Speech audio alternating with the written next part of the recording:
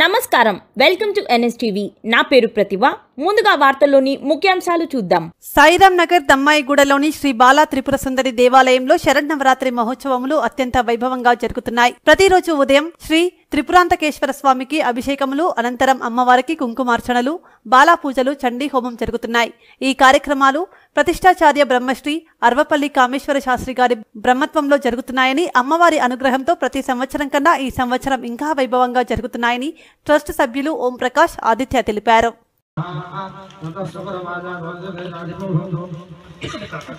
नहीं